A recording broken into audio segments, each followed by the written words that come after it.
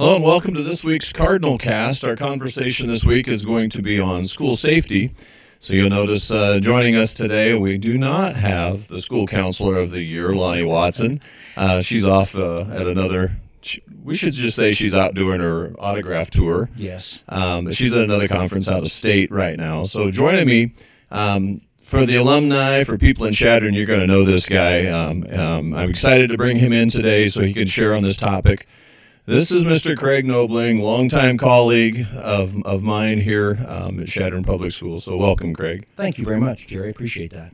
So, Craig, on this this topic, when we talk about school safety, but you and I don't like to mince words on this. We we we're going to talk about school attackers. Yes. Um, and this is going to apply for the people listening. This topic is important. Number one, that we can talk about it, so we can do some, you know, talk a little prevention, Yep. um, and then response. I, I think we spent a lot of time on the response part, and I think our school has done a very nice job, and the kids have done a very nice job of, of taking this seriously. But we spent a lot of time on the response part, barricading and that sort of thing. How many of these trainings on school safety and school attackers do you think we've done? I, I, I don't know. I, I mean, the actual number I don't know, Jerry. I, I, we've been from Omaha, and we have not been to Wyoming and South Dakota yet, but I think that could be in our in our future. Yeah, we uh, actually we've been approached by South Dakota. Yep. Um, we just haven't gone up there yet, but uh, we've offered this training i- on this topic to schools um, for free Yep. uh, for a few years now. Yep. We've been all over the Panhandle, um, together and separate. Yep. We've presented at conferences in Kearney and Omaha as well. So um, I think schools are doing a better job of taking this seriously. When we started with this topic, one of the concerns was it just wasn't taken seriously. No, and and and from that, you mention that, now we see all these uh, workshops and presentations by these uh, these folks that uh, that travel around and and and present. We're kind of ahead of the game. We're three, four plus years ahead of the game. So what they're they're putting out right now, it's kind of old hat for us. We've kind of Right. been doing this for a while. Um, we do have a why, um, and this is something just as a friend of Craig's for a lot of years that I, I feel like we can't skip this part. Um, is why we, we mentioned it. it's an important part of the why. Part of the why is that we know of the first recorded school shooting in Nebraska happened here. Yeah. it, it, it happened. Yeah, 1995 February. Uh, one of our colleagues was was uh, was shot, and um, at, at that point, this was all new. This never happened before. It was pre Columbine, and I'm no way comparing this to Columbine. It's just not. But um, nonetheless, it was a school shooting. Um, and the, the good part was is, is we never had a fatality, um, but we it is school violence, and it was a precursor to to Columbine.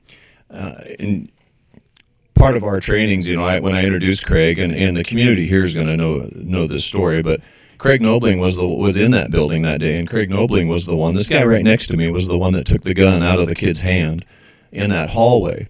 Um, and, and I've you know I've appreciated that you've slowly shared more over the years, but it, it just took a while to kind of to to kind of pull some of that out. And then what we found is there's a lot of lessons. Some of the things that we've learned now you've shared with me privately how well here's how it happened then you know with media as an example like Yeah. how quick national media is going to show up on the scene The, the World Herald was here within within hours. I mean, they had somebody from North Platte, I believe, come up, a kind of a an independent writer, but affiliated with the Omaha World Herald. But it was all new. Um, there was there were no there was no protocol for this. Totally brand new. so uh, it's been it's just been interesting over the years that we've been doing this training that you know we, we get to communicate about that day. I wasn't in the district. I wasn't working for Chadron public schools at that time. Um, but we get to communicate and visit about lessons learned. And we, we get to go relive that. And, and man here's where we need to improve some things. So that that's an important part of the why as as far as you know why do we do these presentations? Why does Chadron public schools take this so seriously? Right. why are you and i constantly being pushed out uh, Yep. to other schools is is to this stuff really happens it Yeah. happens anywhere I, I don't think this is a, it necessarily Chadron Public Schools legacy. It's part of our history. It happened, and we have. I think we've done a good job of moving forward. Uh, but it, it's still the story needs to be told um, it, because that's an as example. It happened to us, but um, now what are we doing to prevent it from happening not only here but other places as well? Right. Um, and, and we talk about we, we use a lot of data and research, which by the way on this podcast probably not going to whip a lot of that out. Um, Yeah. Maybe in the show notes I'll add a few of the resources we use. Um, another re- another why that we take this seriously is is schools. Um, schools have this responsibility for kids, Right. um, and schools have been a target. Yep, absolutely. I mean, in the absence of the parent, um, it, it's called in loco parentis. Um, we are we're in charge of, we're, we advocate for, we protect, um, besides educate, and uh, we have to make sure that that we are. Uh, preventing and, and any violence, but but at the same time educating. Uh, we, we just need to take care of those kids. It's our duty to protect the kids. And there's there's, there's lots of policies out there, but we have to implement those as well. And when we present to administrators, um, sometimes it's a different sell there. And I know it sounds bad, but the duty to protect is what we spend our time on. We talk about, you know, the the most. I- I- a horrible reason to do this, to take schools' safety seriously, is to avoid lawsuits. Right. But we talk about that with administrators when we present that, that that is one piece where, you know, there's a legal requirement Yes. that your your standard of care Yep. and you're practicing these drills. That's right. You have the policies. That's exactly right. I, I mean, we're a very litigious society. Right. We like to sue. I mean, that's just it's the culture, um, and there there are lawsuits still um, out there on and regarding Columbine. Uh, Dr. Angelus is is is still, I think. Um, dealing with some of that, and, and certainly Sandy Hook, um, even though that school has been, it, it's not even no longer a school, it's been bulldozed. Uh, the lawsuits are still there and they're still active. We've been fortunate enough to, to be at trainings. Um, some grant money has come in to s- to sent us out of state, even to Mm-hmm. some national trainings. Um, we've had an opportunity to listen to um, Dr. De- DeAngelis out of Yep. Columbine, um, parents at Sandy Hook, Christine Anderson, Christine Anderson, Virginia Virginia Tech. Tech. She was she was outstanding. She, Yeah. her, her story, her um, how she has moved on, and but still, I mean, she's part of that legacy of, of being a survivor. Yeah, and these people that are telling their stories, John Michael Keyes is another one that comes to mind uh, Yep. with the, the standard response protocol and the Yep. changes that that created. So, um, and we were really proud. We were doing these presentations, by the way, before Nebraska came out. So Yep. the Department of Education then came out with. Safety and security standards, and they broke it into four categories. Right. Correct? Yes, correct. I mean, the the safety and security standards. We're not going to go into a lot of detail Right. about those today, too. I mean, there's um, that's that's legal legal mumbo jumbo, and I, I think there's there's some terms we should probably discuss, but I don't think we're going to break those down here today. I mean, there's prevention and preparedness, um, response and recovery. Uh, we're still working on our reunification. I think we've stepped. We're way ahead of the game as a district. Our crisis team has done a good job with that, but we are still in that phase of of trying to polish things. And I think this is going to be never ending. I think we're going to be doing this every year, and we're going to be kind of reshaping things every single year. Another, you know, so the, the parent student reunification, if, if there has to be a mass evacuation from a building, Mm-hmm. um, how, how do, you know, as administrators, as, as school personnel, how do we hand off students back to their parents who have, you know, we put them on buses, we have a plan in place, like, is, Yep. is what you're saying. Yep. Um, uh, uh, we call it our parent student reunification plan. I've had other schools in the panhandle ask for our plan. We give it to them. Yep. There's free resources with uh, uh, I Love U Guys Foundation that we use to kind of to build our plan, but we have those plans in place. Um, yeah, and I, so I think that's kind of where we're at. The other thing I'm kind of proud of is uh, Nebraska added recovery. Uh, was that fourth one you Yep, mentioned? yep. And we have talked as a um, safety team in our district. Um, we have thoughts ahead of time on when we get into recovery. If something should happen, I hope not, but yes. Absolutely, hope not. One thing I've noticed is like people want to help, but they don't know how to help. And Right. so one school talked about they were just overloaded with teddy bears. Somebody got on the media and said, "Hey, you know these kids, you know, send them." And the school just got like you had warehouses of teddy bears Right. sent to them that they had to store. We had another one with bicycles. Well, you, well, with your experience in firefighting, you you talked about that. Your comparison with you come into a community and there are people always wanting to help but not sure what to do. Bottled water, chapstick, Cookies. Yeah, f- I mean food. So I people care and they want to help, but I think we need to get um, our recovery piece, maybe a a list or a guideline of what could the community do, what could you provide, but we don't. I mean, I, I don't know if you do it. This is for a shooting. This is for a fire. Those sorts of things. and, and so our discussions, just to share this publicly, is is um, we plan to get ahead of it if we have some event that's going to draw attention and, and people are going to want to, you know, they want to show they care. So we, we know ahead of time we're going to set Right. up uh, financial accounts and account at our local banks, and it's all going to be we're just taking donations, and those donations are going to be used for recovery. And I know Kristina Anderson was one that gave us that idea uh, after the Virginia Tech shooting that um, the counseling services that are needed for long-term trauma that stuff is there. And i mean some people have insurance and there's other needs but so our plans is we want to have an account we're going to take donations and the donations are going to be used for recovery for the students and staff involved um, so that we can get counseling services trauma counseling provided for years if needed um, so we kind of had those plans in place and so I mean, there's there's going to be individual debriefing, Mm-hmm. um, and eventually there will be group debriefing. People that were directly involved, and and I think with our our shooting that happened here, it was uncomfortable at first because again, this was all new. You know, you don't, I don't need that. I'm fine. I'm good. Um, but almost in every incident, there's going to be some sort of post-traumatic stress, not a disorder, but um, that's that's kind of a term that's being thrown out there quite a bit here lately, and um, I think people need to know the difference between the other, one or the other, post-traumatic stress versus it being a disorder. So, So now I'm going to turn this conversation a little bit back to um, school attacker, and we'll talk a little bit. We can talk a little bit about our prevention, uh, what we have in place, what we do.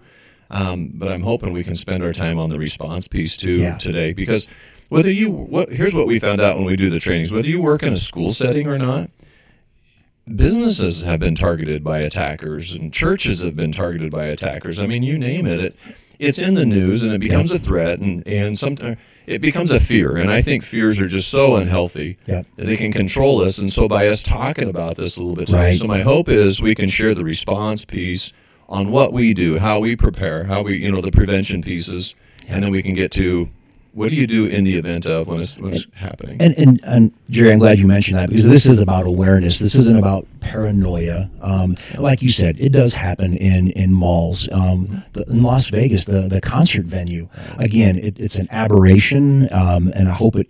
You know those things don't happen again, but I think the inevitable with our culture, with with gun-free zones, I think, and I'm not going to go into that topic, Right. but um, they happen everywhere, and I think we just need to be more aware while we're in public. It's sad that we have to talk about this, um, but uh, prevention, I think, and awareness are going to be the two things that are really important. And I know when you mentioned gun-free zone, I know uh, politically kind of what you're shying away from, Yeah. but w- what he's saying though is targets, you know, the attackers are going to places where they know they're not going to get shots fired back at them. The least resistance Least or resistance. no resistance. I mean, from their perspective, that's that's their planning and preparation on their side. That's what they're going to do. A lot of people Absolutely. in one spot and they don't have firepower to return. Yeah. Yep.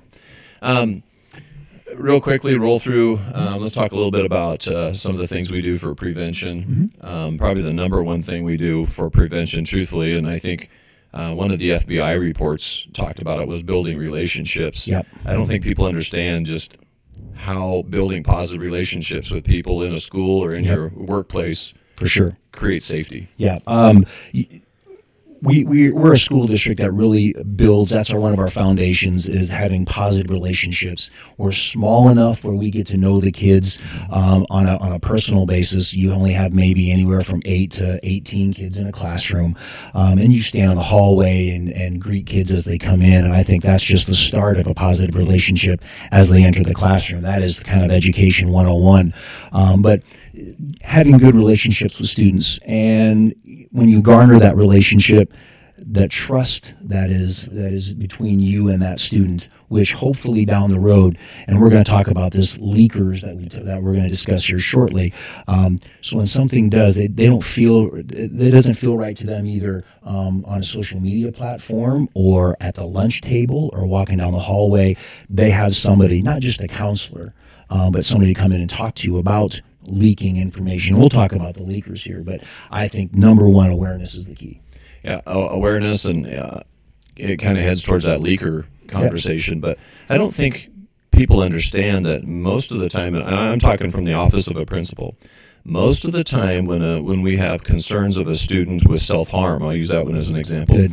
it doesn't come directly from that student. It comes from a friend. That's right. It comes from somebody else. It comes from a third party that yep. brings us that information. Yep. Um, and that's that's what we're trying to create with those relationships. Yep. I mean, kids, students, um, they're they have eyes and ears mm-hmm. that that we don't have, and they don't want to come in and be a quote unquote tattler or squealer. But um, I, I think their best friend's safety or the school safety in general, um, whether it's on some sort of social media platform like um, Instagram or Snapchat. When something is said, um, we need to make sure that they have that that relationship that they come in and, and aren't fearful of, of any sort of repercussions. But so they if they share, man, that, that just it's so much better. That's the do. first thing I think of when you said that teens have eyes and ears where we don't. I think of online. Yep. I think of the social media platforms, the yep. Snapchats. Those are things that, no matter how badly we want to watch um, you know, and monitor that. We just we're not there. Yeah, we, we, we don't have access to it. And quite frankly, I really I, I don't want to have that yeah. online relationship with with a, with a student because I mean yeah, there's there's some there's some things we just we don't need to know. But boy, school safety. But when you mention self harm, that's that's huge. I mean that is they always give indicators. There's always something said. There's always a comment or um, we just need to be have a good relationship for for them to share with us. So we're trying to get the friend the you know we need good relationships with yep. the friends for sure. Yep. For um, sure. As far as how we prepare, so that's a little bit about prevention. As far as how we prepare, we've and we'll get into the uh, more of the tactics of how we do lockdown drills. But one thing is we've added lockdown drills, and sometimes I get comments from the public like, "Well, we do fire drills every single month," yeah. and when was the last time somebody was killed in a school from a fire? It was in the 58, 1958. Exactly. yeah. That's how many trainings we've been to that you know that answer.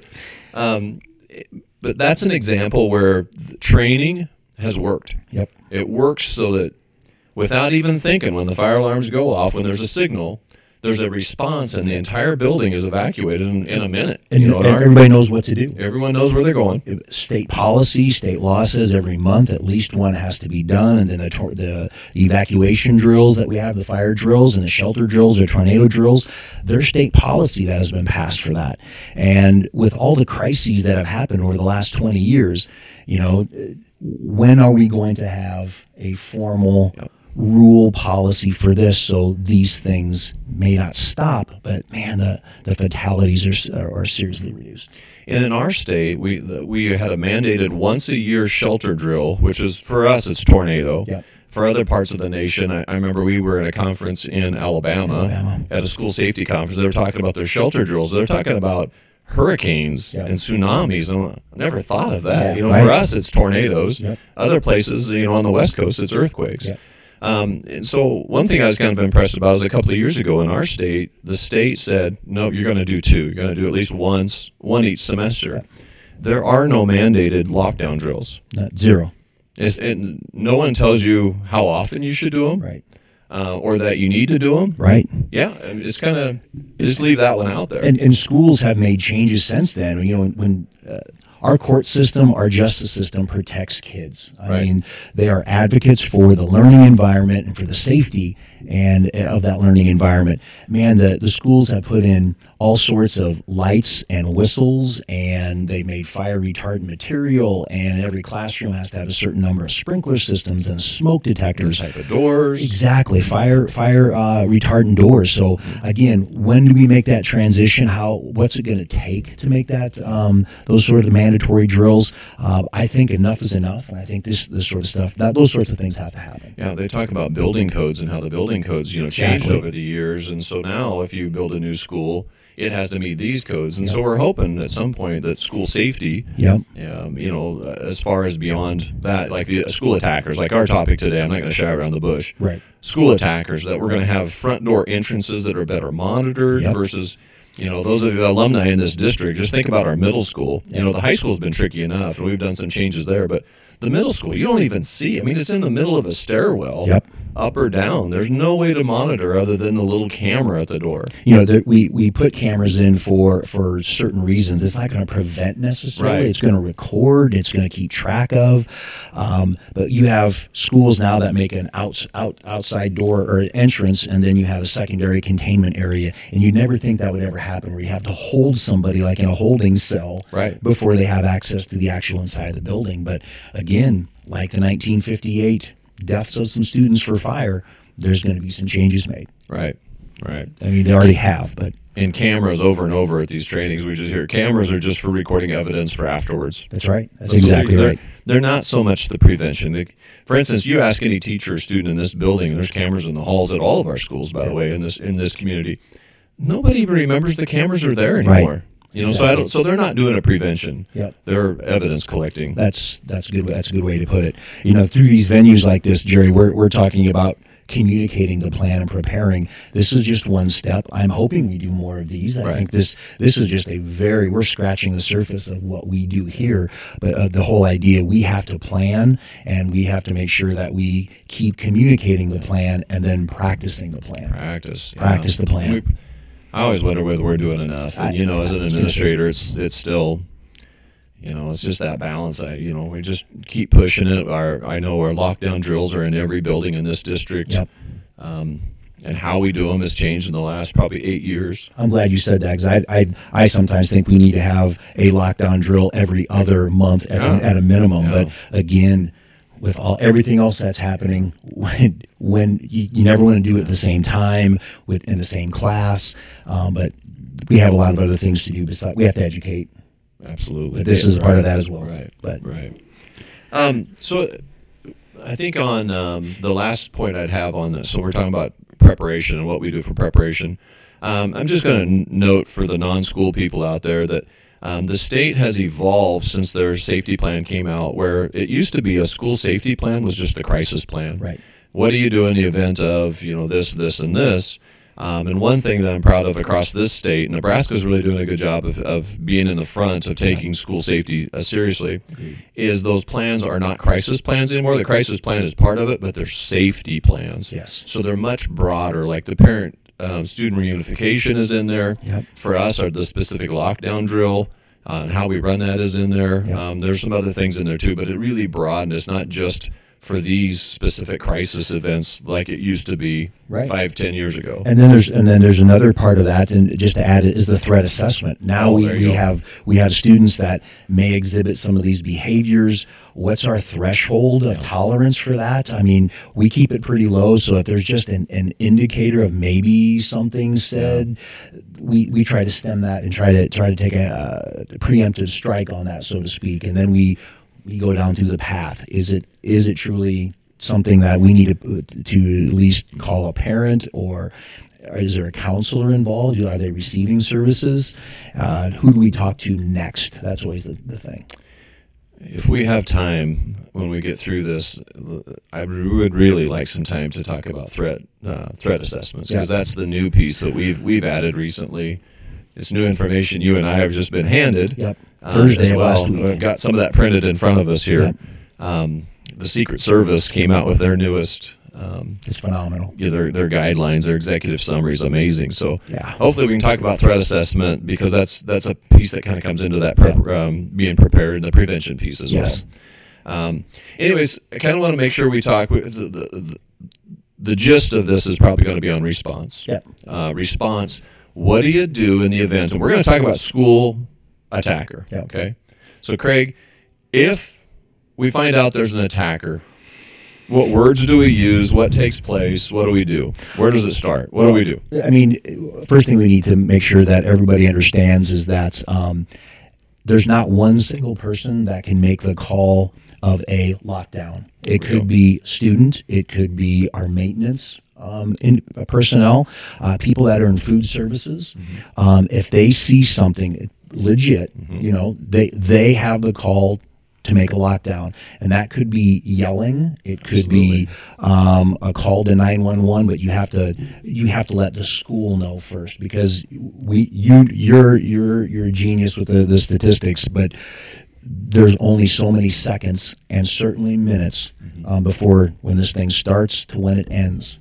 Um, and then we look at the, the the the time of, of the response by whether it's law enforcement, um, then first responders after that. But anybody can make a lockdown. That is the first key thing: is you have to let as many people know from the get go that there is a, a, a lockdown. There's you can yell it's a gun or a shooter or whatever, um, and that will indicate to people that are nearby initially to get to a lockdown. And so for for us, lockdown, we communicate that as the threat is in the building. Yep, exactly. Yeah. Because if the threat's outside, and by the way, there are threats outside. There could be a dog running around with rabies, Yep. or you know, in these parts, you might have a mountain lion that's been spotted on campus. So we would do a lockout. Yep. A lockout means we're going to still teach. Yep.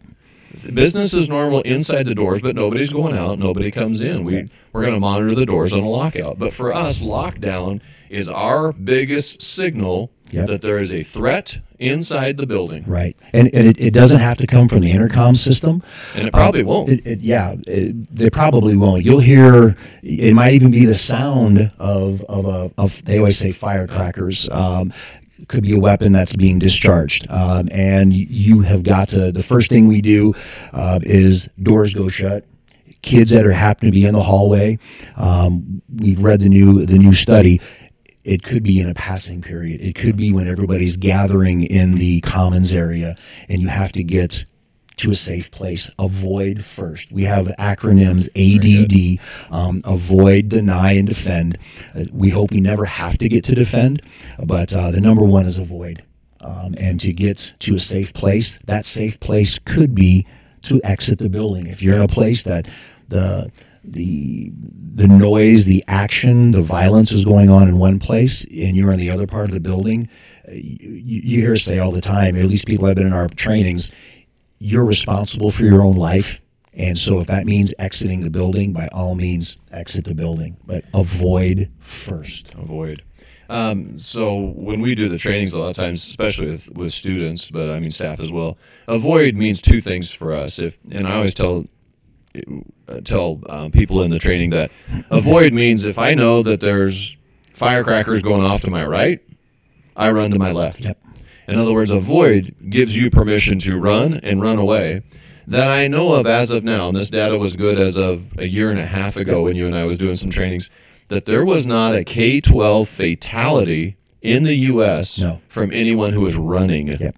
As long as they're moving, moving. you you might you might get injured. Absolutely. Um, yeah. And we have seen studies of multiple. Christine Anderson was shot three times. Three times. Um, she had surgeries, but she she lived, and she's a survivor.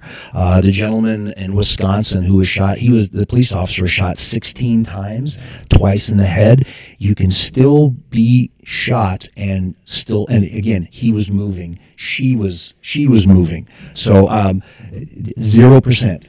You know what I mean of, of deaths as long as you're moving. So avoid, avoid, avoid. So, uh, you know, the way we train elementary students, if you're out on the playground, you know, and there's chaos going on, you're hearing everyone yelling lockdown, lockdown.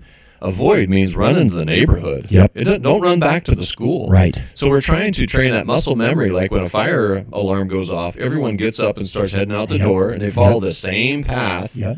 down the sidewalk, across Yep. the street, etc. So we're trying to make sure that we communicate. Avoid is run away. Run right. away if you know which direction the threat is Right. from. Run in the opposite direction. Yep. But the second part is a little trickier on avoid. Is what if you Right. don't know where the threat is? And so when we get to that one, when we talk about avoid, we talk about running to a securable room Right. running to some place that you can feel like you can secure yourself in, Exactly. and you might be sitting in that room at the time. Yep. Or you could be in the hallway and you get to the nearest room. Yep. Um, but it's it's that second one is deny, and that means you know, we have magnetic strips on each one of our doors, and our doors are already locked, and so it's it's it's a snap of the fingers. If somebody's near that door, it's it's it's pull the magnet strip off the door jamb and pull the door shut, and that's just the beginning of itself inside that classroom. Yeah. And then it becomes securing the door, Yeah. and then it becomes barricading and just stacking if you have to, um, being. Um, a, a little off the hook of, of the thought process. You may have to use your belt to, Right, to lock right. down, uh, but it's it's that deny and whatever you can do to deny. Uh, stack as many tables, push desks in front of it, and you're just trying to stop somebody from entering that room. I know how you feel about this, but I, I believe deny and barricade is a skill. Yes, Do we practice those skills? yes, and you have to you have to continuously practice those skills because those things will go away. It's no different than practicing free throws. It's no different than than going out with a bow and, and practicing your your form and follow through. Um, those that's a perishable skill that will go away if you don't practice if you don't practice that. So when we do what he's saying, when we do our lockdown drills, we our students practice barricading doors. Um, in this district, every door is locked all day long. Mm-hmm. We use the magnetic strips um, that we put over the latch plate Yep. um, so that the door can open and close. But that way, any student can run into any room, pull the magnet strip, and that door is going to lock. But part of what we're training with students and staff, and hopefully they share with their loved ones and their families, is how to secure, how to create the deny piece. Right. If you don't have the keys, if you don't have a room that locks, what if you're in a college uh, classroom someday? Yep. What if you're at a concert? What if you're wherever? Yep. So we're trying to teach skills that go far beyond school. So we're we're trying to practice these skills of barricading. So for us, we barricade. So avoid, deny, and we'll get to defend here in a minute. But avoid, run away from the threat if you know where it's from, or run to a securable location. Because we would do these trainings. I remember every time we'd start, it'd be some staff member, some student like, "What if I'm in the bathroom?" That's a legitimate question. exactly. And So and- we say avoid. Yeah. Do you feel like it's a securable room? If you can secure yourself and barricade in there, by all means stay. And if you have to use your body to be the barricade to, to wedge the door shut, that's what you do. Because there's not a lot of things like in a bathroom. We get what ifs all the time. What if I'm in the gymnasium? What if I'm in the weight room or the locker room? You're going to have to be a little ingenious on what you're going to have to do. And, and again, but I would still say if you can avoid and get out, go out the side door Right, and run. And don't come back until, I mean, you know things are safe. And we'll talk about the 911 calls as well, but um, avoid first. But yeah, So if you don't feel safe in the room you're at, avoid, run. Yep. Get to some other place that's safe. So that's that's our two tips on avoid. Yep. Away, away from the threat or to some place that you feel you can secure. And for us in our classrooms, if we're sitting in classrooms, we do have to remind students that might be the securable place. You're already sitting in the room that you can secure easiest. So you don't physically have to run to another room or another location if you feel you're in a securable location. lock it down. Yep. And and we know that just by locking down, Yeah. you don't stop. It that is not the only thing you do. It's not a standalone strategy. You are doing other things while you're in that room. Right. And again, that could include barricading. Correct.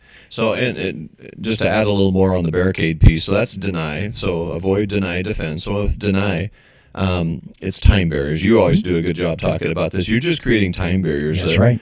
Um, there's data from all these school shootings, and I think one time a, a, a gunman tried to shoot at um, at the door locking mechanism or that door handle to get in a lock. They don't spend time No. like the f- number one thing you can do is be behind a locked door. Yep. And and they're trying to create as much violence and death and chaos in the shortest amount of time. Um, they're trying to beat the law enforcement um, officers, the, the the first responders from getting there. Columbine, for example, was the game changer with Exactly. that. They don't show up to a school and then barrack, you know, make a make a perimeter and then wait for special weapons uh, and units to come in. If it's one police officer or two, they're trained now. Protocol has changed, and they are entering the building and they're trying to stop the threat as soon as possible. That's that's what they do. Yeah, there's no more staging outside waiting for the SWAT team. No, and- they, they go to Target. you know when you said Jerry to create barriers, barriers creates time, and time is life. I mean, everyone when we when we talk about this to students. Um, Time is life. If you can create more time, you, you're you're going to have a better chance of making it out there, uh, making it um, out alive and unscathed. That's that's going to be the big thing. Right. Okay. Yep. Um, Yeah, so deny. I'm trying to think if there's anything we want to add there. So you know, you mentioned Columbine. I'm just going to come out and say this. This is my new line that I kind of created somewhere, and I was just listening to a parent from Sandy Hook. Yep. Columbine changed protocols for law enforcement, Mm-hmm. but it didn't change schools. It didn't do enough to change schools. Right. Sandy Hook changed schools. Yep. You know, that's uh, I. I had the chance to visit with one of the moms. Um, uh, had two children in Sandy Hook, and both her kids Right. survived, but they have all this trauma, and it's like the lessons we learned from Sandy Hook, and I mean, Sandy Hook changed the way schools drill, the, our safety plans, um, how we, you know, they just it. Columbine in '99 changed the way law enforcement responds, Right. but I just feel like Sandy Hook in 2012 changed how schools respond. Yep. Would agree. Yeah. So barricading, um, the data we use a lot is from Virginia Tech. Yep. Was that 2006? Seven. 2007. Um, in Virginia Tech, the, the data is very obvious as far as which doors were barricaded um, versus which weren't. Yep. And a gunman would, I think he re-entered Three of the rooms times. Three times. Yep. He did. Um, went through like 400 and some rounds that Yep. in 14 minutes or whatever it was Yep. he was in the building. Yep. Um, it, it, as far as casualties, fatalities versus you know those who lived, you know, it just it's night and day difference. Those rooms that were barricaded, um, I think in the um, the rooms that were barricaded, um, only two people were killed. They had like 26 or 29 people either injured or not harmed at all. Yep. And in the rooms that were, had no barricade at all, it just kept re-entering. I think they had 27 fatalities. Yes, it, it, it, it that that that Virginia Tech is the the statistic. is the is the basis for that to show you how important barricading is. You have to barricade. You have to demonstrate it with your students. Yeah. Every teacher needs to, and we still we still have some that don't because they're unsure, and that is that is common. I mean, if you if you don't know how to do it, we've always offered, hey, we'll come in Come and, in your room with yeah, you. You betcha. We'll we'll help you, or during a planning block, if if uh, if teachers that are comfortable doing it, they'll do it for other people as well. And we've done it for other schools in the district. Um, so it's just uh, th- th- these are th- this is one of the trainings that you don't have to like keep it secret. Some teachers like to keep what they you know that what they do is secret because they think they're the the guru. This is something everybody needs to know, and that's why we go around and do Sure. it. And we don't. What do you guys charge? And it's like. Nothing. It's. I think this, these are these are skills that I think are, are super important. Yeah. So, Um, and, and by the way, the barricading piece gets to be kind of fun with students. Yep. I mean, they they will Google ideas, and from Yep. belts to using yep uh, to using chairs, um, Extension cords. Oh, extension cords is Yep. probably the most popular way to Yeah. barricade. So ask your students if you if you have a Chadron High student.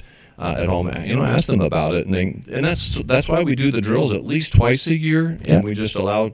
And I always tell staff, take your time with it. Don't don't end just because I say the drill is over. By all means, keep practicing. Use that day to practice barricading. Exactly. Barricading is a really good skill to work. and don't be afraid to talk about it. Yep. I mean, I think there we, we've heard um, administrators from across the state. Certainly, when we were down in Omaha, they had said, "Well, we don't really like to talk about this because, well, one, we don't think it's going to happen in our school, and two." I just don't think this is something I feel comfortable talking about. And then our response usually is, well, then bring somebody in who is comfortable talking about it. Talk to your school board. Talk to your administrative team. I mean, these are things that we're not just teaching this for Chadron High Right, right, students right. from kindergarten to 12th grade. They're all going to go off to whether it's a higher education to a college. And colleges are getting much better at doing this, but college campuses provide a whole different animal for this as well. Um, but whether they're, they're going to go to a, some sort of a, a church um, or an open venue, nearly everybody goes to a mall. These are all things that uh, skills and understandings that need to be carried over into that, that part of their life too. Right. So we talked about avoid. We talked about deny. So let's talk a little bit about the, the last one, which is defend. it, you, when we talk about this, we are not teaching ninja skills. We're not teaching anything like that. Um, it's just common sense. Um, when, when we talk about uh, this last piece, we give everybody the permission to live, and however you have to do that, and if it's avoid, there's going to be in the end eh, when everything the smoke clears, so to speak. Um, why why did I live? There's going to be some of that guilt, that survivor guilt, um, but you have to do whatever you have to do to live, And if that means you're going to use a, a paperweight or a, a um, stapler or whatever you have to do to defend yourself, and again, it's not you're going to go do this by yourself. We're hoping that it's going to be a group of four, five, ten people. Yeah. That if, if this is the last ditch, this is the thing you do because there's no other option. That person has breached the room, and this is the last stand, so to speak, and you're going to have to defend yourself and the other people in the room. And, uh, over and over. You're we're not going to be victims. Right. Sometimes I tell kids, you know, we're. It's hard for me not to swear when I say this, but we're from Western Nebraska. We're not going to be victims. Right. You know, just to empower and, and you know, you have my permission. Yeah. Um, age appropriate does come into play on this topic. Very now, good. you and I are sitting here talking because we work in a high school, but the way they do this in the elementaries and with kindergartners, et cetera, they, they call it throw and go. So they're just trying to create distractions. Correct. So the, the biggest tip on deny is don't think fighting. Right. Think distraction. Yeah. It's just creating a distraction so that you can run. Improvise. Yep. Um, you, you need to be aggressive and you, you need to be all in because there's no just yeah. sort of this. There's there's a there's a weapon that's being used that is very lethal, and you're going to have to respond to that with that same similar um, force. We, we call it find objects of opportunity. Yep. Right and throw yep. them hard yep. right at shooter. Yep. Um, one of the trainings we did, we actually got to, we've been done at least three or more sim, simulation yep. shootings. Simulations, yeah, absolutely. Yes.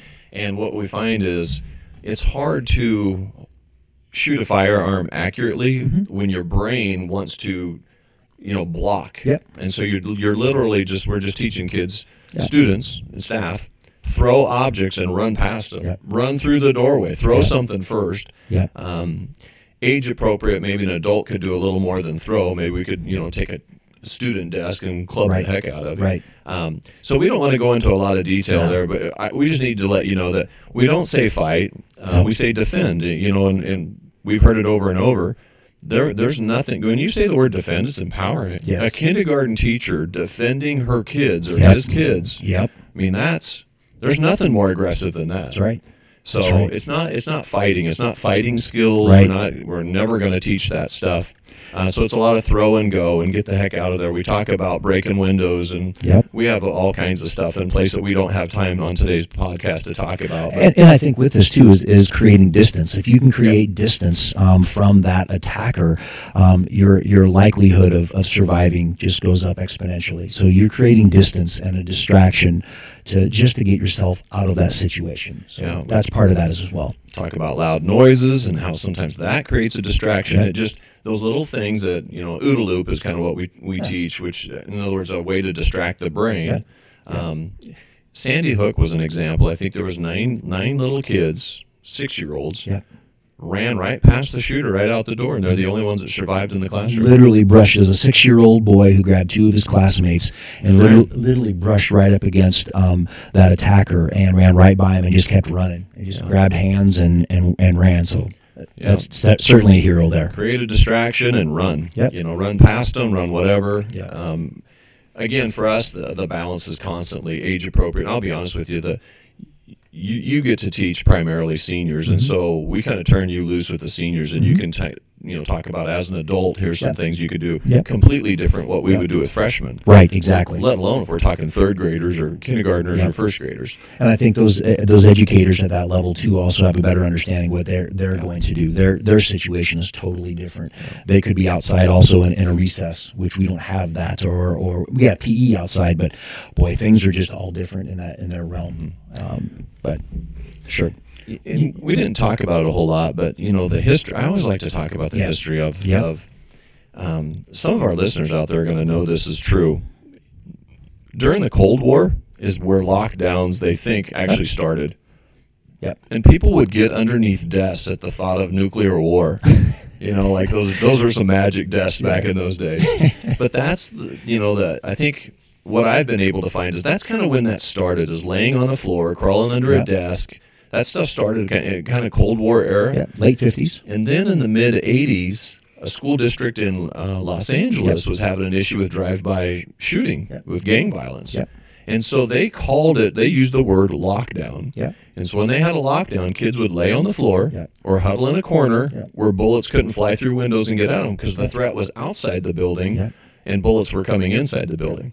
They'd get under tables and desks because bullets would hit lights and pieces of the ceiling would shatter down on them, and so they would they would be underneath desks. And it makes sense. I mean, when, Absolutely. when the threat is outside, it's kind of similar to our lockout. You, you keep that that that danger's on the outside of the school. We secure the perimeter and keep the danger on the outside, and that just carried over into the 80s and 90s, 90s, yeah. and where Yeah. everybody huddled. Like I can remember early in my my career, that was when something happens, you go in the in the in the corner of the classroom, turn the lights off, and just be quiet. And that is so against any any common sense. But man, up until about even ten years ago, that was still that was still the protocol, and that is so against um, common knowledge and and just logic. So, uh, as far as the publications that we could find, national publications, U.S. Department of Education, in one of their guidelines in 2007, talked about a school shooting, but they didn't give any guidelines on how to respond to it. Right. It wasn't until 2013, and they used the words "run, hide, fight." That, and basically, it just said in that publication, that's 2013. They start. We were already doing our drills differently. Yep. Um, but that's when they finally got brave enough. Department of Ed, the FBI, Secret Service, all these different entities went together on this publication. Said, it, you, "We need more options. Yep. Uh, we need to be able to allow people to make their own decisions, whether that's students and staff, on survival." Right. And so that's when some of this. Well, we were kind of ahead of the game Mm-hmm. then, and then we, you know, one of the new ones we kind of twisted in there was reunification. We could see where that was going to be an issue, and we kind of got ahead of the curve on reunification plans as well. And you know, I think people need to understand reunification is after we exit the building or after a lockdown. Um, some people have exited. It's a crime scene. Where do we go to meet?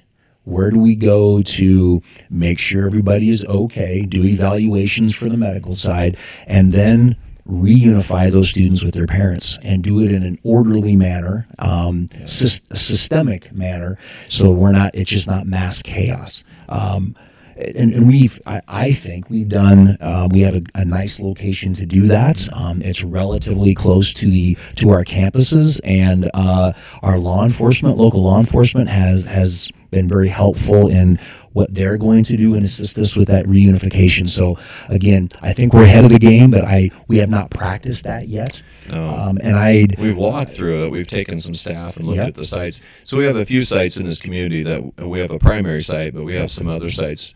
Um, and again, I don't want to kind of give that information out right, Right. now because we don't want parents beating us to the site. Right. Um, I'll just I'll just come out and say this, and parents, I don't mean to upset you when I say this, but if we have to do mass re- um, evacuation from a building, let's just say that there was some little fire and it created smoke in the building. Gas we're gonna leak. ha- So- gas. We're going to have to evacuate the entire building. Yeah. So we're going to bus those kids to an offsite location. Our plans are set up so that parents never get out of a car. Yeah. We don't want parents coming Correct. in and bogging us down. We're Yep. busy. We're still supervising kids. Yeah. So we have a plan in place for all of our buildings to be able to do student pickup. You, Yep. uh, it's kind of like a drive a drive-through. You're going to pull up to one location, fill out a card on who you're requesting. You're going to pull ahead to the receive gate, and we're going to bring your kid. We're going to walk him Yep. to you. Yep. W- Staff member will walk your student to your car. Yep. and just keep keep the line moving. And just I- keep- yeah. I, you know, anytime there's we talked about this and example after example, when a, a major event happens, everybody rushes to the school um, and wants to find out what's going on because of the our devices, our phones. We have students that are communicating, and we do encourage that. We encourage the communication Absolutely. via texting, not a call. Why texting? Let's talk about that. Uh, Yeah, uh, texting is a, a single line being used. It's an SMS, and it's being a single line is sent to the tower and then to the receiving device. A call sends two to the tower and then two to the to the receiving device. It bogs everything down. Every single major event has crashed cell phone towers. In how long? in less than 10 minutes. Um, and it's it is it's a hassle because i think we need to have those community even though the, the law enforcement and first responders medical personnel are going to be using uh, radios there still needs to be communication there Yeah. um, uh, via via uh, uh, telephone or cell phone. And so they're going to inevitably crash and we need to have and we encourage students by all means text your parents tell them that you are okay and you'll be constantly communicating with them, whether it's five minutes or ten minutes. I would say five because parents are going to be very protective um, of their of their uh, children. Uh, but there there needs to be communication, and we we talk with our students about calling nine one one. Who's to call nine one one? If we're in my room, one person is designated as calling nine one one providing useful information um, to the dispatch so that they can convey that information to responding officers. Um, you, we, we always tell the, the students don't give out information, don't be guessing on things you don't know. Because if, if, let's say, there is only one shooter, one killer, and you're saying there's lots of shots, I don't know how many people are out there, it sounds like two or three. Yeah. Well, you're giving misinformation to those, those responding law enforcement officers, and then they may be potentially looking Yeah, for. slowing down the response. Exactly, exactly. So, in fact, that's one of the key takeaways I think um, in today's conversation is um, in these mass media events, cell towers are going to crash. Yep. Um, texting, texting every five minutes. You to your child. Yep. Set set up a time. They text, "I'm. Are you safe?" And the response, "I'm. I'm safe." Don't no long con you know no long conversation. Trying you're trying to push small text through Yeah. to get communication back and forth to your to your student. when you are barricaded in a room, you you may be there ten minutes. I- you could be there three and a half hours. Absolutely. And so it's going to be there's going to be lots of, of uneasiness and anxiety that comes because of that. But uh, everybody, at least when, when we're in, in my room, we go over this with, with each of my my classes.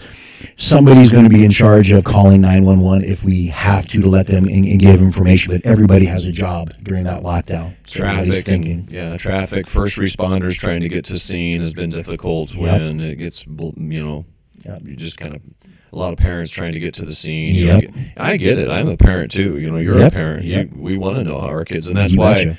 you know we're going to try to do everything we can to communicate out It's- it's natural. the state that we- you know where we're at and, Yep. and what we can so It's natural. we've gone long today we did not get to threat assessment i think you know i'm going to have to bring you back see if we can if you would I'd- agree to do that so I'd love can- to do that. that's the newest thing. So we we actually have a district team that has gone to a couple of different level one, level two threat assessment trainings. Um, it's something we need to continue to do. Mm-hmm. Um, this new information that we just we have in front of us right now, uh, we need to we need to communicate that to the rest of our team members too. So And, and, you know, the like uh, the I Love U Guys program. I think that is crucial. It's free. Um, all the all the, the, the posters we, we post in classrooms and in hallways. They encourage they encourage schools to do it and be part of it. You don't have to pay anything.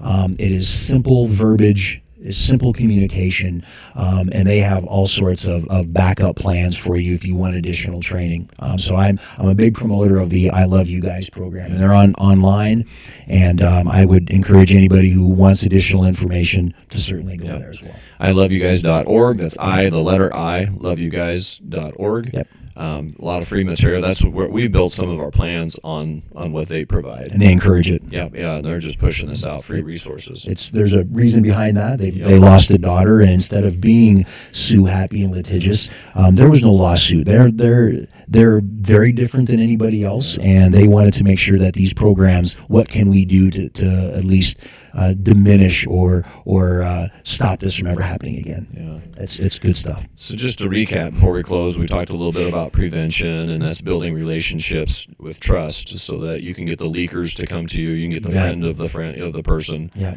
Um, you know, because most of the time the attacker has communicated um, the plan. Yep. And so you're trying to get that person. On multiple venues. Yes. Typically. Yes. And so you're trying to get those people to come report. Yeah. Uh, so that's a key piece. It's not the only thing, but that's a key piece of prevention. Yeah. Preparedness is to have plans and practice those plans. You know, do drills um, would be a key piece there. Response, we talked about avoid, deny, defend. Yeah. We went into each of those three, um, and then finally recovery. And, and recovery, recovery begins as soon as the incident's over. Yep.